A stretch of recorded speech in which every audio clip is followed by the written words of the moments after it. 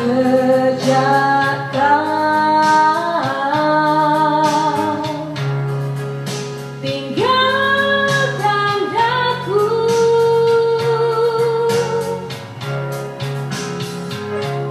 Pedih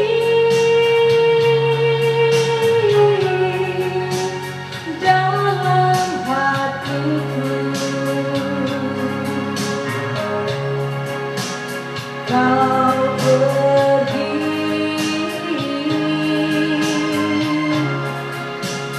time.